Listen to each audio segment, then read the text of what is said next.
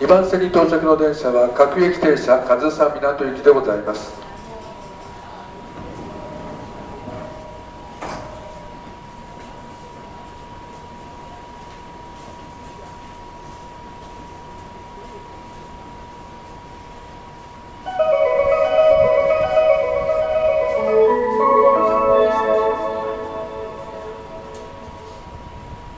まもなく1番線に東武線経由快速東京行きが到着します。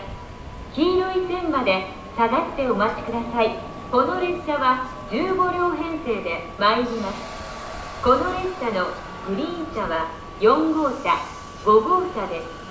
ご利用のお客様は通常車券定期券のほかグリーン券を